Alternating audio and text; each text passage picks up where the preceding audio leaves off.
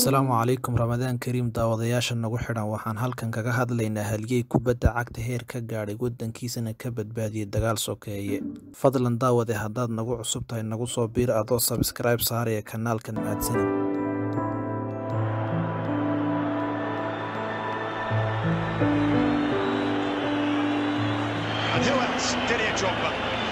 The man whose goal hauled Chelsea back into contention has the chance to win it.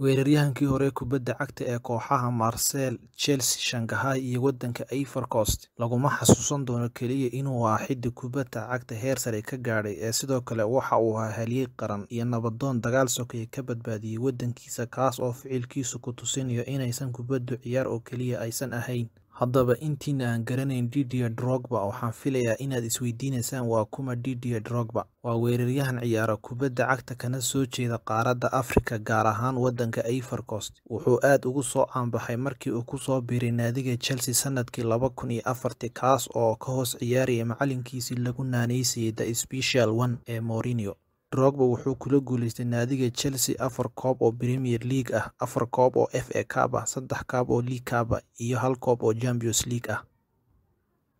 Wuxuu u dheliyey chelsea boqol toddobaatan iyo toddoba gool isagoo agtooda ka noqday halyey kooxeed. Wuxuu shaqsi ahaantiisa ku guuleystay laba jeer ciyaaryahanka ugu goolal badan premier leaga sidoo kale wuxuu noqday laba jeer ciyaaryahanka ugu wanaagsan qaaradda afrika waxaa kaloo uu noqday ciyaaryahankii ugu horreeyey ee qaaradda afrika ka soo jeeda kaas oo boqol gool ka dhaliyay premier leaga keliya maaha inuu isbeddel ka sameeyey intii uu joogay chelsea ee naadi walba uu joogo waxa uu soo bandhigaa tayo sare. Haddaba aamin ama ha aamin waxaas oo dhan maahin waxa ugu weyn ee uu gaadhay ciyaaryahankani waqti ciyaareedkiisii kubadda cagta waana meesha aynu u socno inaynu kaga hadalno fideogan marka laga soo tago inuu naadiyo badan u soo ciyaaray guulo badanna la gaadhay drogba waa ciyaaryahankii lagu qabtay waddanka jarmalka wakhtigaas oo dagaal sokeeye waddankiisa ka socday. Dagaalku wuxuu bilowday sannadkii laba kun iyo labadii kaas oo sababay in waddankiisu u qaybsamo laba qaybood oo koonfur iyo waqooyi oo ay kala maamulaan mucaaradka iyo dowladdu. Ivory waa waddan ay ku nool yihiin ilaa lixdan qowmiyadood kuna hadlaan in ka badan ilaa toddobaatan iyo sideed luuqadood. Waxaa ku wada nool muslim iyo kiristaan. Sanadkii labadii kun iyo lixdii dadaallo ay wadeen qaramada midoobay iyo ciidanka faransiisku oo lagu dejinayay xasarada waddankan ayaa guuldaraysatay laakiin waxaa saameyntiisa la soo baxay kabtan didier drogba markii waddankiisu la ciyaarayay madagaskar ciyaartii u dambeysay ee loogu soo baxayay koobka adduunka wuxuuna ahaa ciyaaryahankii dheliyay goolka guusha. Kadib markii ay dhammaatay ciyaartu drogba wuxuu la hadlay dhinacyada dagaalka ka waday waddankiisa waxay isaga ciyaaryahanadiisu qabsadeen jilbaha waxayna ka codsadeen inay dhammaan hubka iska dhigaan oo dagaalka la joojiyo. Drogba waxa uu jeexay taariikh cusub oo lagu xasuusan doono waxa uuna weli sii waday dadaaladii dhexdhexaadineed ee waddankiisa ilaa ugu dambeyn heshiis sar rasmi ah laga gaadhay labada kun iyo toddobadii. Ugu dambeyn drogba waxa uu tusaale u noqday waddankiisa qaaradda afrika kubadda cagta bahda sboortiska iyo adduunweynaha prouver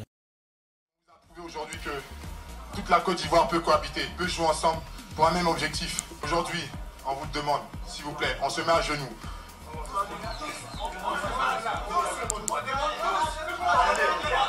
Pardonnez. Pardonnez. Pardonnez. Le seul pays, le seul pays de l'Afrique qui a toutes ses richesses ne peut pas sombrer dans la guerre comme ça. S'il vous plaît, déposez tous les armes. Faites les élections, organisez les élections et tout ira du mieux. On veut s'amuser. Arrêtez vos fusillades.